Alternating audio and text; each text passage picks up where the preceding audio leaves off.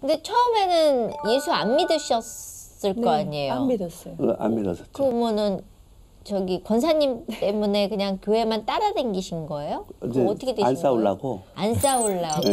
그 주일날은 교회 가야 되니까. 예, 예, 예. 그래도 너무 감사한 거는 예. 주일날이면 제일 먼저 준비하고 어. 뭐 그래도 문화 초반에 어떤 사람 초반에 시작부터 네 시작부터 그러니까는 어, 뭐 이렇게 내가 예수 믿어야 돼 뭐 잔소리 네, 한 네. 적도 아, 없어요. 예, 예. 근데 네.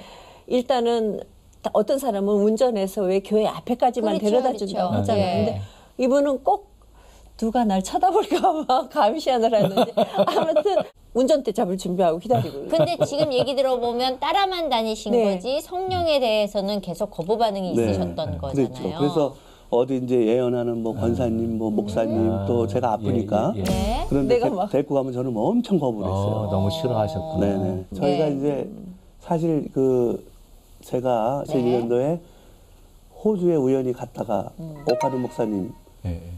부흥에 참석을 하게 됐어요. 네. 그 호주 세순교회. 예. 근데 제가 진실한 단어가 성령이 성령. 음. 근데 청년들이 찬양을 하는데 제가 또 귀에 제일 익숙한 게 일렉 기타 소리, 네. 베이스 기타 소리. 네. 제가 원래 그걸 했으니까 아. 그래서 눈 감고 이렇게 있는데 누구 저를 데려간 채, 저 사람의 그 체면상 참석은 했지만 너무 싫었거든. 음. 근데 눈 감고 이렇게 있는데 오소서 진리의 성령님 네. 하면서 네. 일렉 기타 소리가 쫙 나오는데 네. 그냥 저한테 온 세상의 빛이 다 들어오는 거예요. 그 순간 성령 네. 네. 그래서 그 3일 동안 공에 참석하면서 오카르 목사 아직도 생각이 나요. 아직도 생각이 나고 난 눈물 나는데 그 세상의 힘이요.